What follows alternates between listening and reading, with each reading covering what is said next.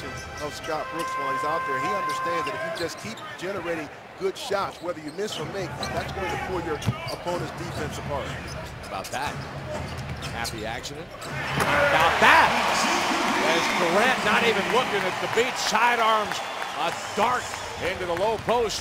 Four men touch the ball on the possession, and the Thunder has a 23-point lead. You know what? Durant has always been a willing passer, a playmaker, whatever you want to call it, but his accuracy is what has gotten so much better. You saw that pass right on the money to Hasheem. Blocked by Thabeet.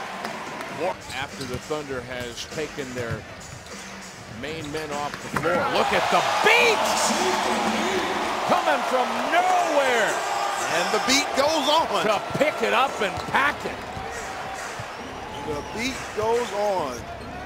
He sure does. The beat with... You're playing your hardest to get better. Regardless of what the score says, you have an opportunity to get better. You have an obligation to your teammates, oh. more importantly, to get better. How about it, and one.